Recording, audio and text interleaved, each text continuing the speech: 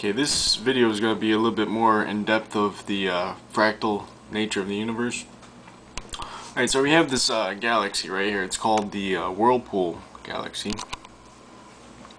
And uh, I chose this one because I had a picture of a fractal that was basically in the same orientation as uh, as this one right here.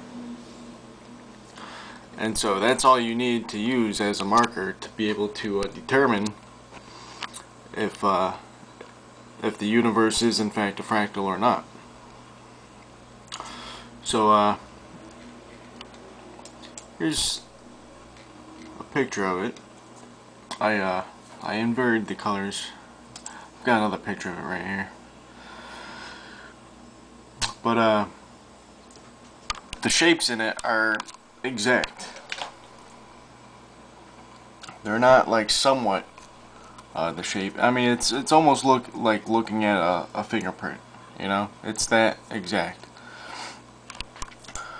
And if you if you look at the whirlpool real close, you'll you'll see that there's um, there's features of it that are exactly the same. Let's uh, where should we start? Well, you'll notice a pretty big indicator is, uh, you know, this spot right here in the middle of the swirl and on like the tail end of it, bam, this part, right? So those two parts, it's uh, pretty good indicators right there. And uh, here you see them the two pictures, the images aren't exactly um, exactly alike, but that's the, beauty of a fractal. If you zoom in or zoom out, you'll find the same image uh, repeated until infinity, but it uh, it varies. It varies. So basically, every possible combination is uh, possible.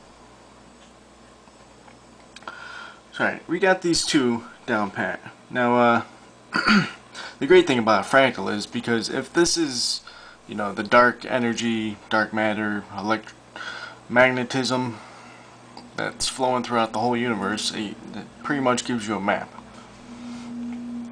So, uh, alright, so we have these two points down pat. Now let's take a look at uh, this big swirl right here. Okay?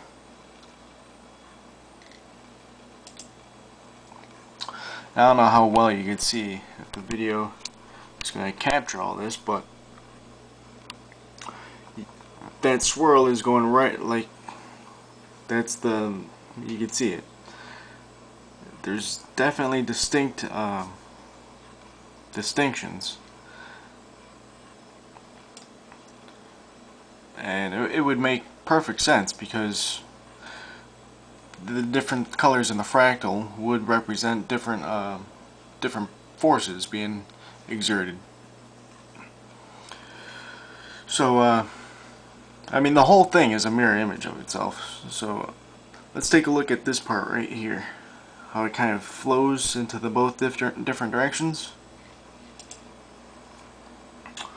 And we can see it right, right there.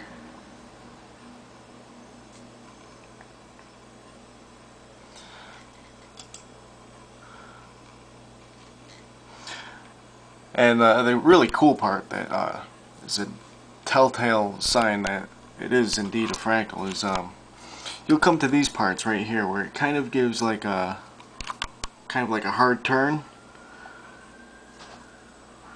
Like here here kind of gives these hard little turns right there.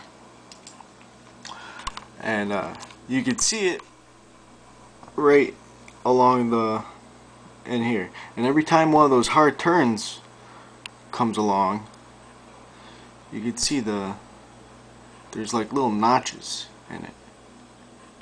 You know, it's not a perfect swirl. It's got this those same exact notches. You'll and you can see there's different colors right at those spots.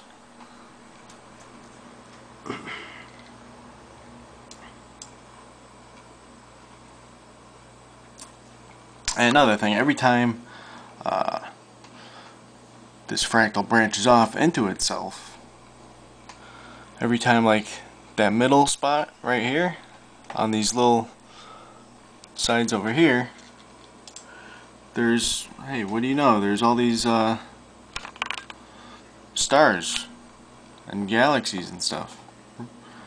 Almost to the T of where they should be well where the fractal shows them uh, well my battery's about to die so uh, let me know what you think. And uh I'll get back to you